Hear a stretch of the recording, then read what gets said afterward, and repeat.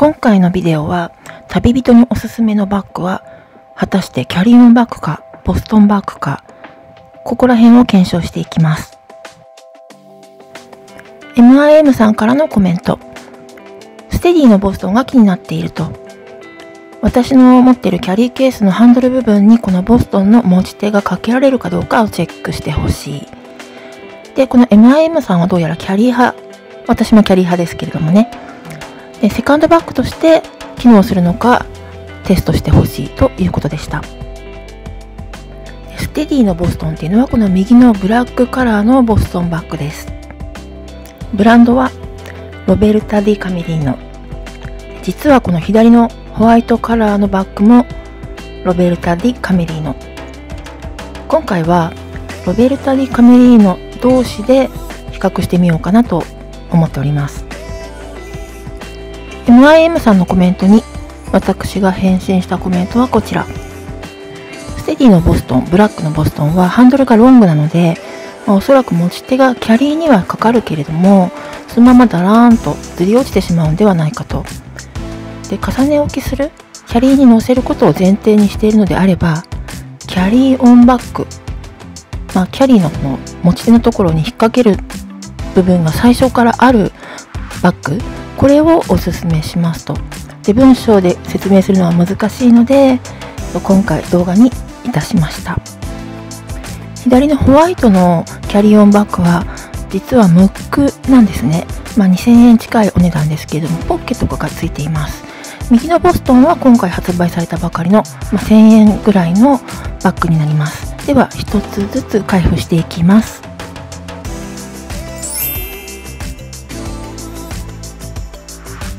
テディステディは980円。大型ボストンロベルタ・ディ・カメレイノ。高さ26横が42マッチが20持ち手が結構ロングで58ですね。私この持ち手がかっこいいなと思って買いました。500のペットボトルと比較するとこんな感じ。重さが 240g です。かなり軽いですね。かなり軽いのに 5kg まで持っていいみたい丈夫なのね。大容量ボストンっていう割にもなんか箱が思ったよりちっちゃいかもしれない。じゃんこんな風にもうぎゅうぎゅう詰めに入ってる。かっこいいわ。私このハンドルストラップ目当てですね。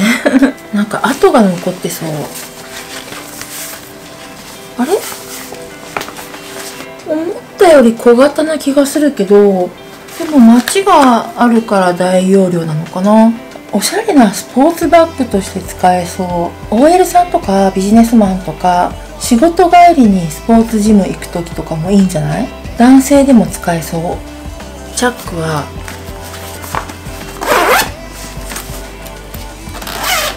うん滑らか。滑らかですチャック。ポッケない。全然ポッケがない。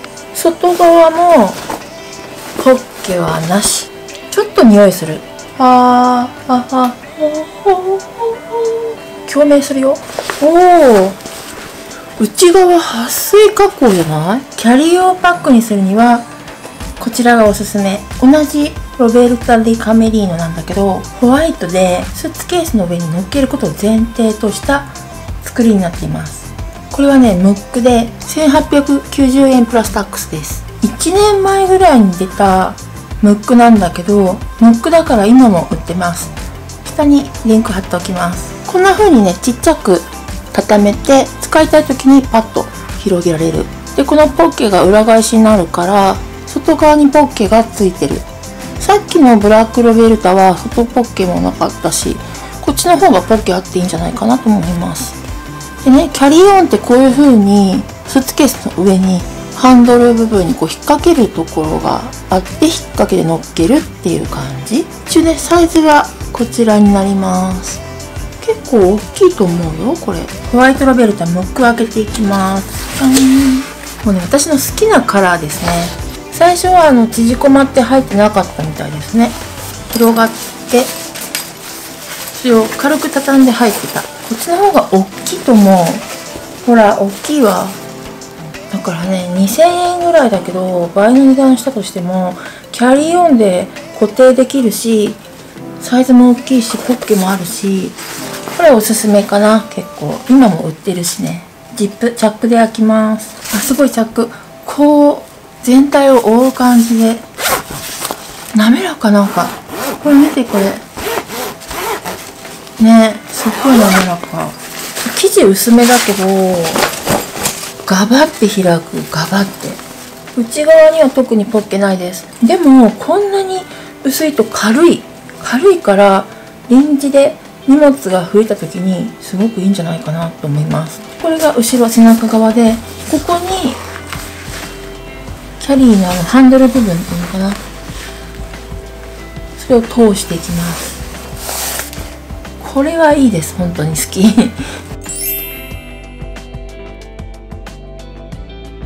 これがね私が今持ってる中で一番ちっちゃなもう最小サイズのスーツケースです。でちょっと持ち上げるとよいしょ。ホワイトでございます。ホワイト。私スーツケースはホワイトしか持ってないっていうかね大きいのもいろいろサイズ持ってるんですがちょっとねここに通すっていうのをお見せしたかったのでチビサイズを持ってきました。角度的によいしょ。ちょっと下げると分かりやすいかな。そうかこうやればいいのかな。はい。ではロベルタさんをね試していきましょうね。この大きなボストン。これね確かにハンドル長いんですよ。長いから引っ掛けようと思えば引っかかります。こういう風にね。引っかかるけどもわかるかな？これがねズリって落っこっちゃうわけ。つまりこうなるからね。よいしょほら。こうやってねずり落ちちゃうわけですよ。じゃあ短ければいいかっていうと短くても綺麗に乗らないんですね。本当はこれきちんとこう乗せたいわけですよね。でもね乗らない。だからやっぱりキャリーオンバッグ専用のやつをスーツケースの上に乗せることをおすすめします。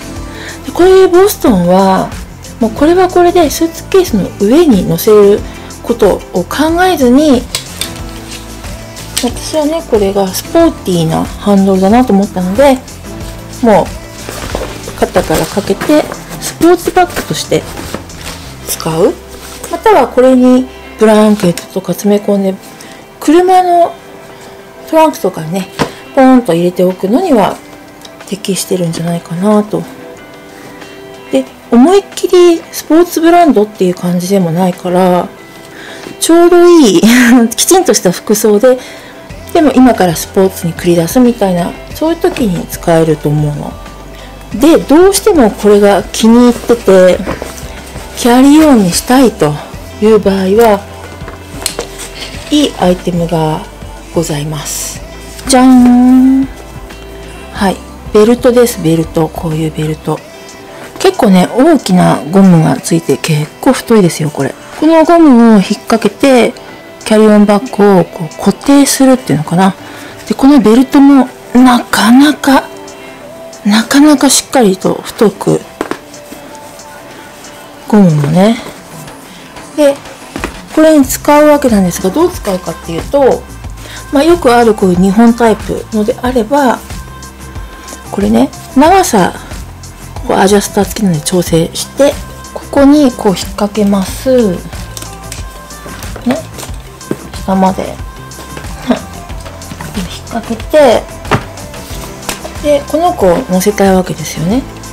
まあこうやってもいいけどももう問答無用でこれズリッと落ちますからもうこの紐ストラップがここかかるかかかんないかっていうことがキャリーオンにできるかどうかの判断材料には全くならないのでこれですね。この子を下からグイッと上げてここに通す。で長さは好きなように調整してこれでキャリーオン完成です。ね。でこのゴムバンドは1000円ぐらいで売ってますね参考までに下にリンク貼っときますけど別にこれじゃなくてもいろんな色のとかデザインのも売ってましたんで一応こういうキャリーオンにできるベルトもありますよってことでございます OK? で私がおすすめするのはこのタイプでゴムでやるんじゃなくってもう最初からキャリーオンを考えてるんだったらキャリーオンバッグにすることをおすすめします。それがロベルタのホワイトのキャリーオンバッグ。これね 中身今入れてないからへへなへなですけど一応お滑らかジャックがすごくいい。うん。うん。でこのスーツケースのここねこのこの U 字のとこにかけるわけですがこれどう写したらいいんだろう。こうやってねここにほらかける隙間があってほらぴったりだわ。こうやってねかけるわけです。これでもうこの手下げ紐がどうなっていようが安定するんですよここで。見にくいかな。こうね安定するんでございます。どう動いてもずり落ちたりしませんのでこのタイプがキャリーオンを最初から考えているスーツケースの上に乗せることを前提に考えていらっしゃる方はこれですよこれ。こういうキャリーオンバッグってやつですね。正面側にロベルカのタグが。レッドでここにすごいインパクトありますがついてます。表面のポッケ。これが、あの全部折りたたんでこの中に入れられるポッケなんですけどもサイズ感はねちょっとねスマホは入らないぐらいのサイズ感。カード入れと比較するとこのぐらいなのでミニ財布なら入るかなって感じですね。これが出てきます。これをね折りたたむとでひっくり返してこのようにちっちゃいパックになる。でこのストラップハンドル部分なんですけどもこれがねこの辺りに流れてるわけじゃなくずーっと下までね下までこうずーっと縫われていってこの底の部分までしっかり縫われているのでこういうのはね止まってる面積が広いから丈夫です今まで雑誌付録とかネックも含めてなかなかなかったんだけど面白いですよね。このストラップハンドル部分は柔らかいんですよね。キャリーオンとして使うことを前提としているので、あんまりここを持ってずっと持ち歩くっていう、そういうのを想定してないから、もう十分かなと思います。このチャックがね、大きく開くんですよ。これ端っこ見ると、わかるかなこの底の部分からトップの部分の真ん中ぐらいからチャックがスタートしてグイーってねでぐるぐるっと回ってこっちもこの端っこで終わるんじゃなくて横サイドまで来てこういう底の部分だけど真ん中ぐらいまでサイドの真ん中ぐらいまで開くので結構ガバッと開けられます柔らかいしで裏特に撥水加工してるわけじゃないけども、このクロスしている、格子状になってる、これがね、結構丈夫さを出してくれてるかな。裏返しました。これね、パイピングの縫い目部分もきちんと割れてますよね。で、ハンドルの紐も下までグイーって縫われているのですごい丈夫だなと思います。で、このチャックのエンド部分、ここですね。ここもしっかり中に折り込まれてますね。サイズはこちらです。下の概要欄にも書いておきますね。値段は1890円プラスタックス。携帯電話しまえるってあるから、私の携帯電話大きいのでちっちゃいサイズにして、さらにケースを外したらば入るのかもしれない。今気がついたんだけど、中にこうロボチャームがついているんだって私気づかなかったな、これ。ポッケ部分のチャックにロゴチャームがついてるはずなんですよね。いや、でもここからロゴチャームになってなくて、こういう持ち手になってますけどね。ね、ひっくり返したらここにあった。これ、持ち手が外側バージョンと、内側バージョンと、あるんですね。今気がついた。手が込んでますね。ちょっと置いとかんでみる、これね。そう。ちょっとね、いびつだけど、入りました。入れ方がね、下手っぴだからね。ボコボコしてるけど、すごいこんなにちっちゃくなるの。ね。すごいコンパクト。キャリーオンにもできるし、軽いし、で、現地に行ってからこれ広げてもいいと思うんですよね。お土産とか増えた時にね。うん。私がね、このロベルタのブラックボストンを買った最大の理由は、このハンドル、ストラップっていうのかな。このスポーティーな感じがすごくいいなと思って買いました。で、実際今手に取って、わかりますか？これ、刺繍なんですよ。すごい。この手の、まあ、1000円ぐらいの雑誌付録って、多分ここ印刷になってもおかしくないと思うんだけど、すごいの、ルベルタ・ディ・カメレーノのロゴが全部刺繍になってます。ちょっとこれは感動もの。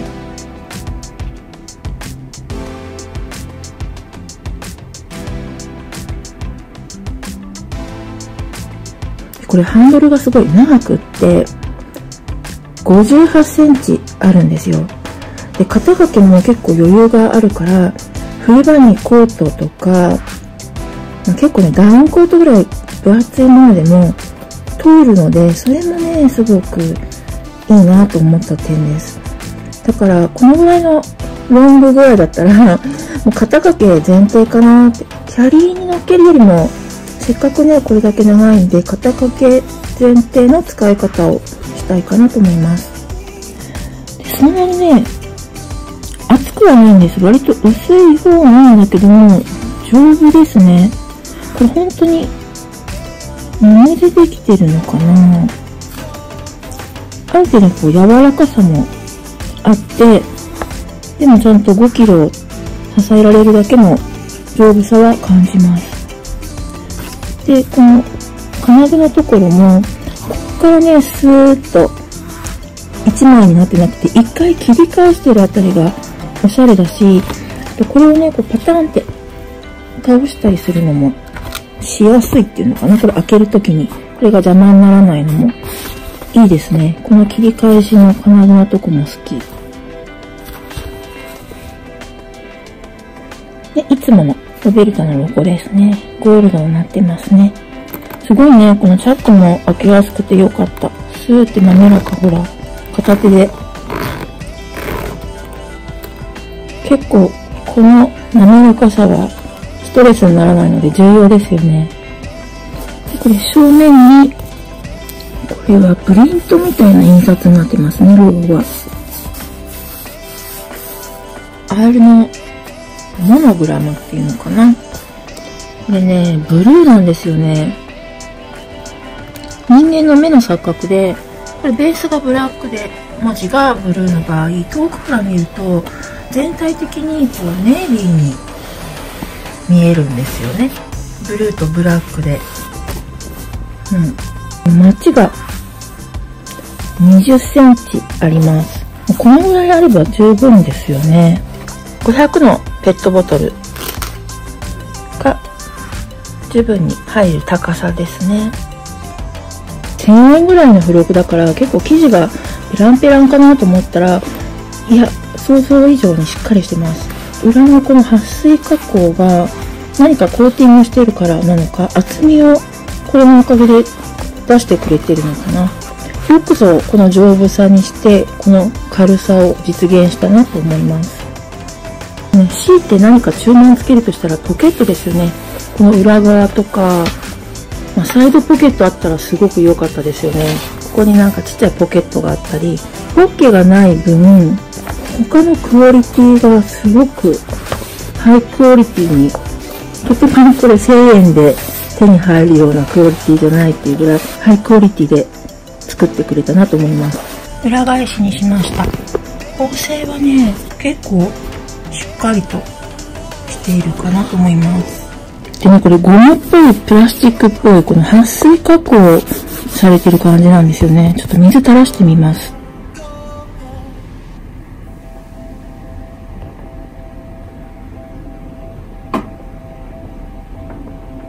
うん、撥水加工ですね、完全に。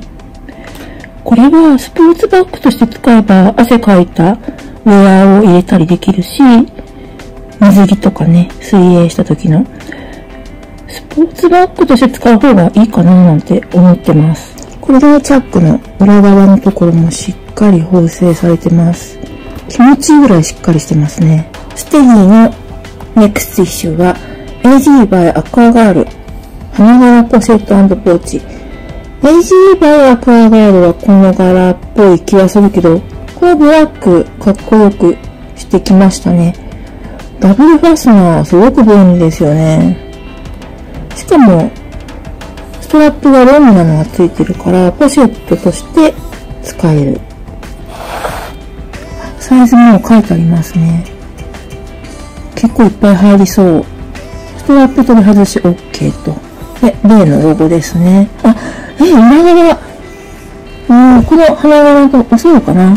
裏側にポッケがついて、二つ、これか、 one, two。あ、すごいじゃん。これはいいわ。普通だって130センチ斜めがけもできるのかなそしたら。